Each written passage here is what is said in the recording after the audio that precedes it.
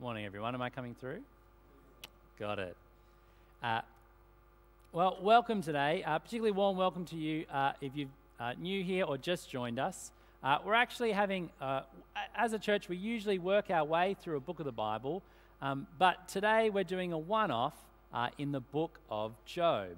I'll be away over the next two weeks on leave, and Ron and David, our elders, will be preaching from 2nd and 3rd John.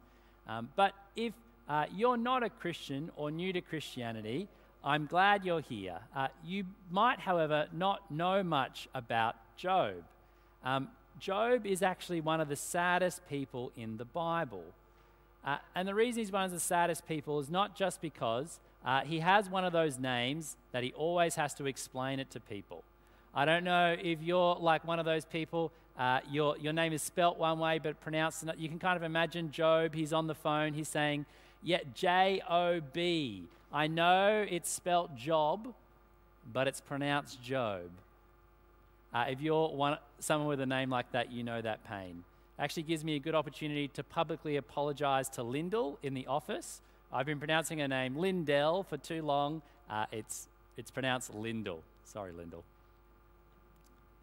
But uh, seriously, um, Job the, this uh, man in the Bible, he experiences profound tragedy and suffering in his life. Uh, he loses his family, his possessions, his health, uh, and everything. And this story in the Bible is designed to teach us, to prepare us for when tragedy strikes us and those whom we love. So keep your Bible open. We're going to need it as we're going through. And so the big question that we have for today is where do you go to find wisdom? And more specifically, where do you go to find wisdom in the midst of suffering? When you get that cancer diagnosis, that loss of job, divorce, where can you go to make sense of all that? And what do you tell the people who come to you in the midst of their suffering? When they come to you for wisdom and they ask you, Why is this happening to me? What have I done to deserve all this? This is a never ending search for wisdom, wisdom in the midst of suffering. And that's exactly where we find Job in our passage today. Uh, and it's the big question throughout the book of Job. In the last 20 odd chapters of the book that we haven't read, Job and his three friends have been bombarding him with their own wisdom in these kind of poetic speeches. And their wisdom has been basically this Job, you're suffering, so you must have done something wrong. But needless to say, uh, Job is less than impressed by this wisdom from his three friends that they've been giving him, and he's been answering them back in his own poetic speeches. And some of the speeches from Job have come from a pretty dark place. They're heavy reading.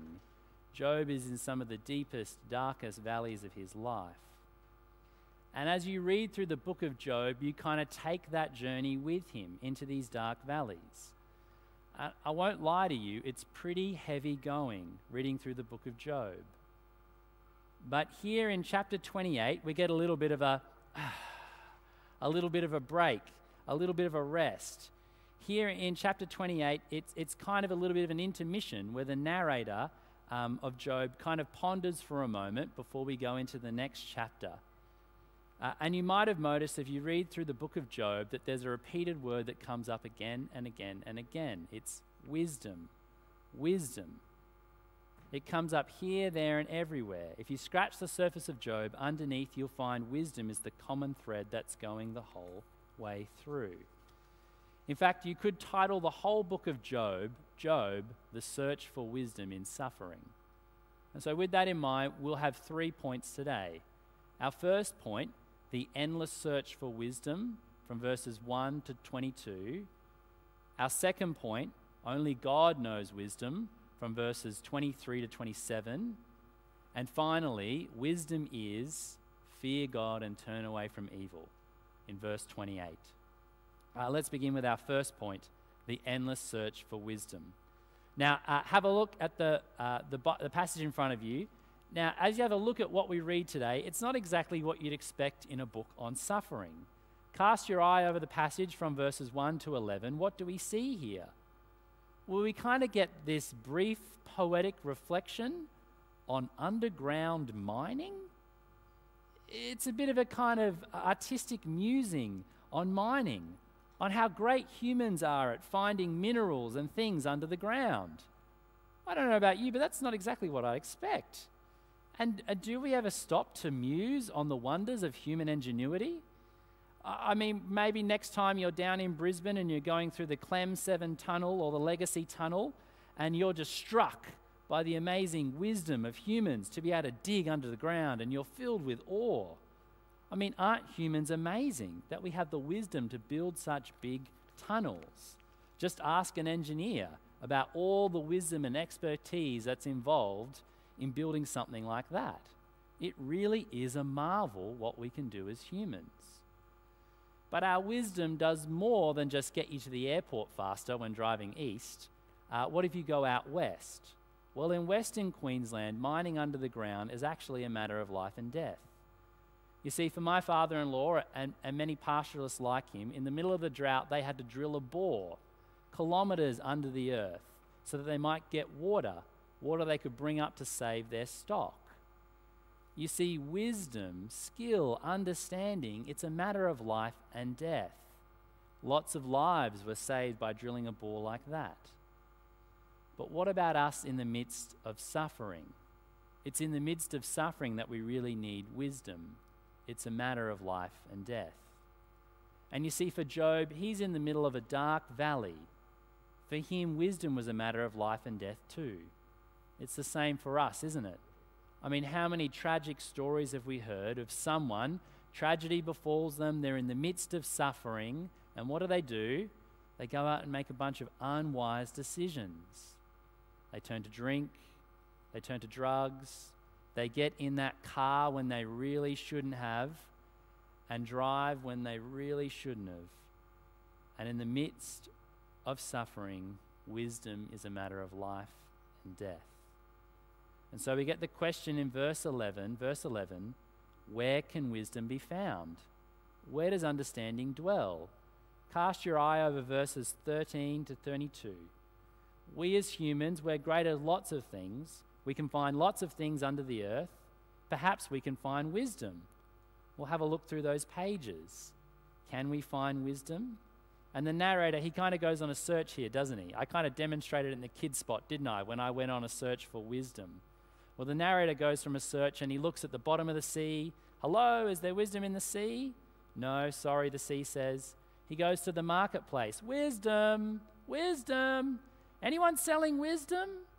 And remember, he's desperate.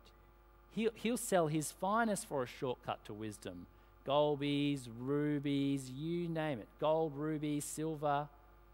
But no matter what, no wisdom.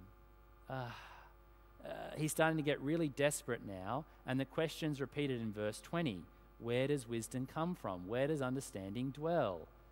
And now he's asked everyone in the land of the living. In verse 21, he's so desperate that he'll even ask the dead in verse 22. But somewhat humorously, the dead answer something like this. They kind of shrug. Nah, sorry. Uh, we've heard a wisdom of, uh, we've heard a, a rumor of wisdom, but we don't know where it is. I mean, it, it's kind of comical, isn't it? To think of death saying something like that. After all, we've just heard a rumor of wisdom, they say. But you see the point that's getting at here? The point is that no one knows. And suffering proves that there's no end to the search of wisdom. And Job's friends certainly didn't know. You see, we're told a couple of important characteristics about Job's friends we're told about where they're from. You see, Job's friends, they come from the three wisdom capitals of the ancient world. Uh, they sort of come from the Harvard, Cambridge, Oxford of that time, of the wisdom schools. What about your friends? Where do they go for wisdom? Where do they turn in the midst of their suffering? And are you tempted to follow them to the same places? The self help books, the gurus, the Instagram influencers. Uh, back when I lived in Sydney, um, a guy called Tony Robbins came out from the US, and thousands of people came down to Olympic Park to hear him, one of the self help guys. Maybe Tony Robbins can give the answers. Why do I have cancer? Why has this happened to me? But look, if he or anyone like him tells you they can give you all the answers, don't believe them. But that's just the non Christians. What about the Christians? I want you to think about the wisest Christian person you know. Maybe it's a mentor, maybe a Christian counselor. I think of our elders. And we think maybe, just maybe, if we could sit down with them, they could tell us, why is all this happening to us? But no, I'm sure our elders are too wise for that. They'll pray with you, they'll sit in silence with you, cry with you, but they won't be able to give you answers as to why exactly you are suffering like this. So that begs the question why are we so often like Job's friends? Why are we so to, quick to try to answer people's suffering, to try and tell them what's wrong, to, you know, to fix their problem? We hear people say things like, Look, this is all your fault because you. Or the problem is you just don't have enough faith. If you had enough faith, then you know, even modern medicine doesn't have all the answers. Sometimes people will have a mysterious condition and they'll have every test under the sun. They'll have been to every specialist imaginable and still no answers. Till finally, someone, a doctor maybe, sits them down and says, You know, sometimes we don't find the answer. Sometimes we just have to manage the symptoms as best as we can. And you know what? That's a wonderful relief. It's a relief from the endless search for answers. You see, sometimes the restless search for answers can be worse than the suffering itself. Yes, like Job, we wrestle with God, we ask God why. And God encourages from the scriptures, particularly the Psalms, to be real with Him. But as Christians, we're free from the never ending search for the answer why. We can accept that we don't always get an answer. We don't need to have an answer for everything because we know the God who has the answers to everything. And what we really need is not the answers, what we need is God. We need God more than we need answers. Remember, I asked, what about when someone we know is suffering and they come to us? Uh, we don't have to give them answers, we just care for them. I mean, we're not God. We can't answer all their questions. We just need to care for them, to cry with them, to pray with them, to be with them. And as a church, we already do this, don't we? I know firsthand how many of you have cared for me and my family this year. Praise God for His work among us. Let's pray that God would make us into wise friends for those who suffer. Our second point only God knows wisdom. And this leads to our second point. Now, I know it sounds a bit negative to say that no one but God knows wisdom, but it's the truth. You see, wisdom requires perspective. Let me give you an example of a new perspective. A while ago, I was visiting my dad, and we sat down with the iPad, and I showed him how Google Maps or Google Earth works. Uh, and it really just blew his mind. I was explaining to him um, why Sydney is such a difficult town to get around for, taf- for traffic. I was like, look here, Dad, see this big body of water here? That's the harbour. That makes it hard. See all these mountains over here? Yeah, that makes it hard. That's why Sydney takes such a long time to get around. And when I showed him this, I went on to show him his farm. I showed him his neighbour's property. He was very chuffed. He could see how many sheds his neighbour has. It blew his mind to have this new perspective this bigger perspective on life. It's a perspective that he'd never seen before. You see, it's all important where your perspective is. You see, for God, He sees the full picture of things the suffering in our life, where we are and where we're going.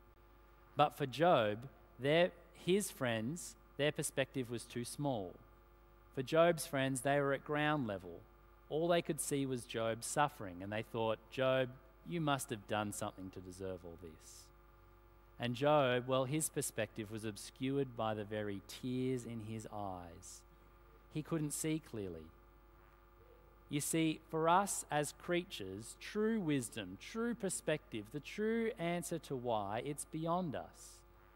Because it's important for us to remember when it all boils down to it, there are only two kind of things. There's God and there's the things God has made.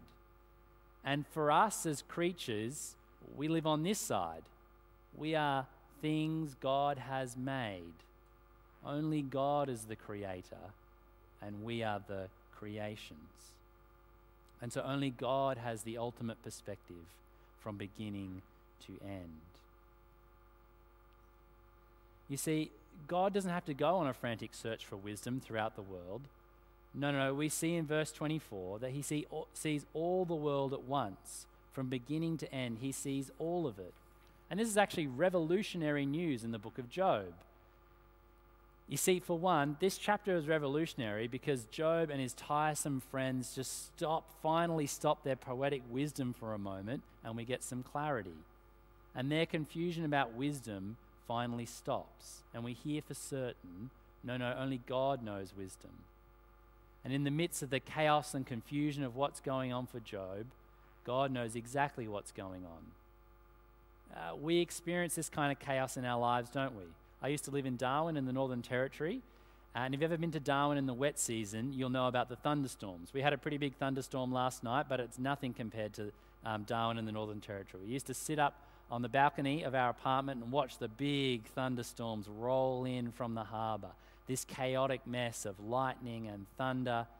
It was incredible to watch. And actually, sometimes these storms in Darwin, they turn into cyclones, destructive cyclones whirling around and around, and it can be quite fearsome.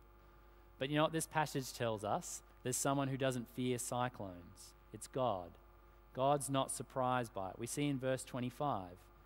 And in verse 26, we see that God controls the storms, or that God's like a master craftsman.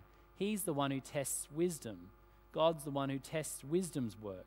When wisdom goes to look for someone to check their answers against, wisdom goes to God.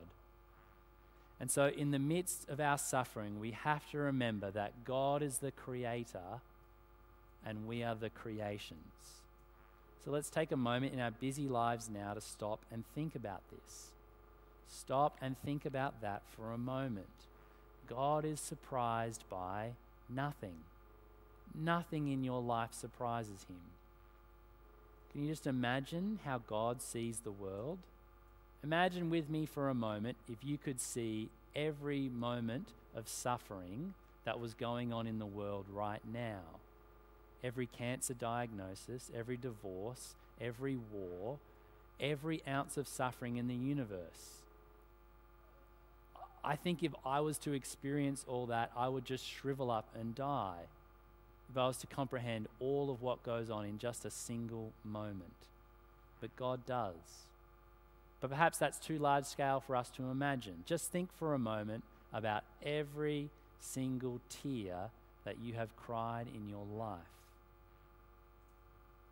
You know that God says in Psalm 56, verse 8, that God's kept every tear you've cried in a bottle. God knows every single moment of sadness that you have had in your life or you ever will have. Just stop and think about that for a moment. Every single tear. God knows.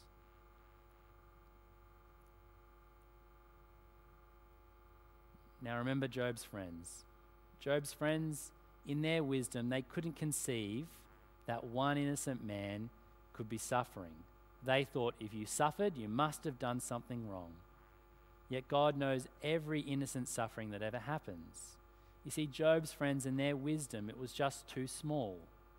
And you know why Job's friends' wisdom was so small? It's because their God was too small. You see, our God would go to the cross for us. Jesus, the most innocent sufferer, would suffer and die for us. What a strange wisdom, Jesus, the innocent sufferer. This kind of strange wisdom would have blown Job's friends' minds. But that's the wisdom of God. brothers and sisters, is your God too small? Do you need to meet the God of the Bible, the God we meet in Job, the God who becomes like one of us and suffers like us on the cross? Even though Jesus was more innocent than Job, he suffered. He suffered so that we might be free from our sin, that we might be God's children. And this brings us to our final point wisdom is to fear God and turn from evil. So, what do we do in the midst of suffering with a God who knows all? What do we do now? We've been on a quest for wisdom, haven't we? We've looked everywhere and we've seen that no one can know. And instead of finding answers to our suffering, we've found something much better. We've found an awesome God who knows all of it and loves us and became one of us. But the question is practically, what do we actually do? We'll never figure out um, uh, how good and how loving God is until uh, we are wise in the midst of suffering. And God here, He tells us how to be wise in the midst of suffering.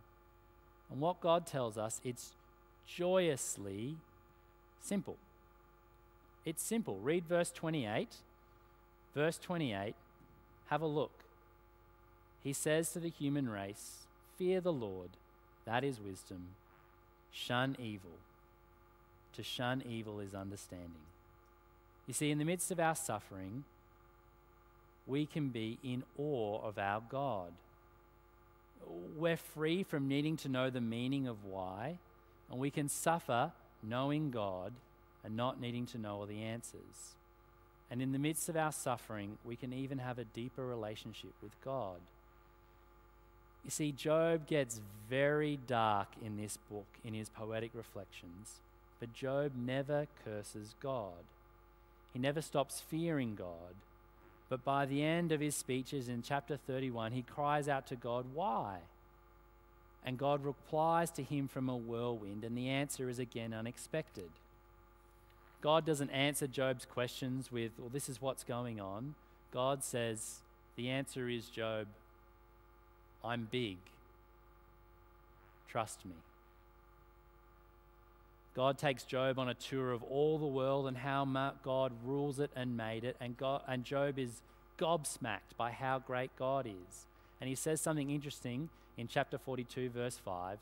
Job says, You know, I'd heard, I'd heard rumors about, I'd heard about, I'd heard reports about you, God, but now, in the midst of my sufferings, I've seen you. You see, that's what suffering does for us. It's easy for us to say, yeah, yeah, I know about God in the good times, but it's in the suffering that we so often see God and His goodness, and we see just how much we need Him. C.S. Lewis once said that God whispers to us in our pleasures, He speaks to us in our consciences, but God shouts in our pains. Suffering is God's megaphone to rouse a deaf world. And so when suffering strikes you, just hold on. Keep fearing God as best you can. That's wisdom. Keep meeting with other Christians, sharing with other Christians. Keep listening to God as much as you can in His Word. Keep pouring your heart out to Him in prayer. But also, we're told not to make suffering an excuse for sin. Have a look at the second half of verse 28. To shun evil is understanding. I mean, how often in suffering do we find it easy to, to justify stuff that we'd usually think is wrong? I mean, where does the world go in the midst of their suffering? Where do they flee to? Perhaps they flee into a bottle of wine, maybe into the arms of a stranger, or maybe just into the endless numbers of, of mind numbing entertainment that the world just delivers to us again and again and again through our screens. Something to just fill the kind of sad emptiness of suffering without God. All the while they curse God and his good intentions for us. But us, brothers and sisters, what about us? Don't run into the arms of sin No, when we suffer, run into the arms of a loving God. So I want to tell you if you're suffering here today, hear this plea from your loving God. Don't run to sin, run to Him. Don't run to sin, run to Him. Don't run into the traps that sin will put before you in the midst of your suffering. Run to God. And let us, as your church family, let us help you. And as you do this, refuse, refuse to listen to the wisdom of the world. And as you do that, you'll look strange to them. You'll look strange to them as you suffer like Job did in his wise and worshipful suffering. Job perplexed his friends, they, they couldn't understand it. How could an innocent man suffer like that and, and not get angry at God? Not turn on God? Well, friends, that's the kind of wisdom that defines our lives. We live by the wisdom of the cross, not the wisdom of the world. As Jesus said, it's in losing our lives that we find life. And as we suffer, we follow in the footsteps of our suffering Saviour Jesus. And we become more like Him. Let me pray for us. Loving Father, we're sorry for the times that we search for wisdom anywhere but you. We're so thankful that you know all things, that you are wise. And we thank you that you tell us how to be wise, and it's so gloriously simple. Help us to fear you and love you now. God, this can be a hard word for us to hear that we are just fragile creatures and you are God, but humble our hearts, we pray.